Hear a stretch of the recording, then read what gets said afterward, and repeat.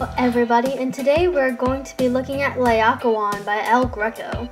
And this image is in the National Gallery of Art in Washington, D.C.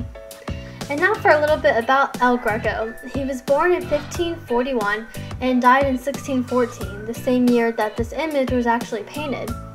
He was born in Crete, which is a small Greek island within the Cycladic Islands in the Aegean Sea. And when I think of Crete, I think of the Minoan culture, and that flourished there during the Bronze Age. And I always think of palaces like Knossos and how they were all centered around an open court. As a young artist, El Greco was trained as an icon painter, and icons are just holy images of Mary or Jesus, usually in cathedrals. And like so many other great masters who were not native to Italy, El Greco, which actually means the Greek, went to Italy in 1567 to kind of observe and look at the new art styles that he was hearing about. And also contemporary with El Greco, or even a few decades earlier, we have Michelangelo who's painting the Sistine Chapel, you have Raphael, and you have all these different great Italian Renaissance masters that El Greco wanted to study.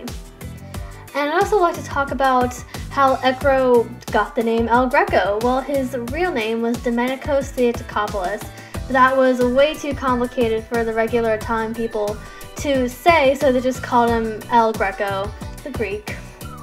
And during his second stage or training as an artist, he actually trained as a Venetian artist. And I think that his paintings were influenced by the lighting of Tintoretto, um, for example, Tintoretto's Last Supper, and also the modeling of Titian. El Greco moved to Rome in 1570, but he finally settled in Spain in 1577. And he actually settled in Toledo, which is a beautiful city. And here you can see the landscape of Toledo, and especially the Castle of San Servando, which is in many El Greco paintings. Toledo is also famous for harboring three dissimilar religions that still managed to coexist together, and those are Christianity, Judaism, and Islam. And it was in this city that El Greco painted um, one of his last paintings, Laocoon. And it was really the archetype for the style that was developed by El Greco throughout his career, from his icon painting to Venetian painting and in his later stages. Now, for the actual story of Laocoon and who he is, it actually comes from Virgil's Aeneid, which just describes the quest of Aeneas as he leaves the Trojan War and comes to Italy. Laocoon was a Trojan priest who was murdered as well as his sons because he warned the Trojans against accepting the legendary Trojan horse. But the Trojans kind of disregarded this crazy guy and they um, sent Poseidon, or Poseidon actually sent snakes from the sea to strangle Laocoon because Poseidon was on the side of the Greeks like Athena. This painting by El Greco, I think, depicts the most poignant moment in this fascinating tale. The snakes have risen up from the ocean, and the kind of distorted but also muscular body of Laocoon is very powerless on the ground, and with the snake about to bite his face. And I just love his expression as he's looking up, kind of accepting his fate. And also, I think one of his sons, who's gracefully wrestling with the reptile, is also very, it's very powerful when you look at it for the first time. I'd like to discuss next the bodies. You can notice they're twisting, overly muscular, and they have a ghostly hue to it, which is very characteristic of El Greco's bodies. And it's also characteristic of Mannerism, which was a sophisticated art style that emerged just after the High Renaissance. And it really came about because artists didn't really know where to turn after the beauty produced by Michelangelo and Titian and Raphael and all these other artists. So they just took that um, artistic beauty that the previous artists had and kind of exaggerated it.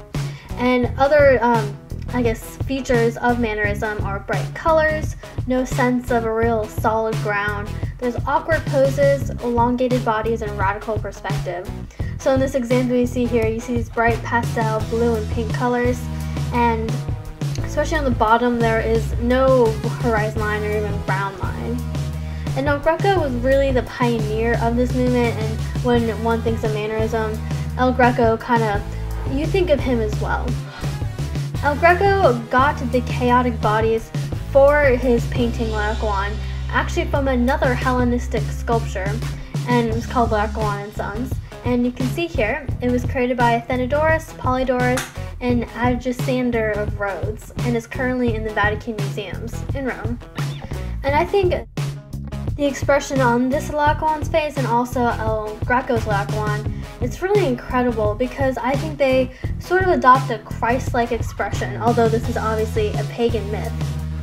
And in El Greco's painting as compliments for the dark lighting, the bodies are ashen and bruised looking, and El Greco used the dark blue for the muscular shading. And I'd like to draw your attention to the town that is depicted in the background.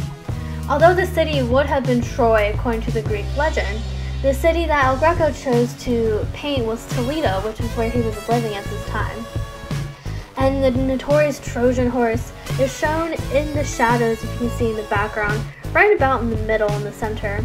And also you can see ancient bridges that are actually in Toledo, such as the Puente San Martin.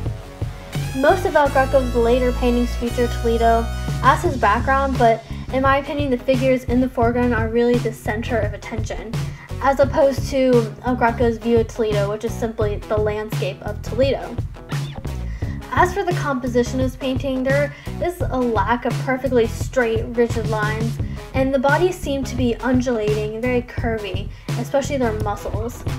And this composition heightens the emotional overtones in the image. I mean, these men are dying a brutal death, and I think El Greco really captures that emotion perfectly. So I hope you enjoy this painting. It's one of my favorites, and look for more El Greco works that we are going to be looking at next. Thank you for watching.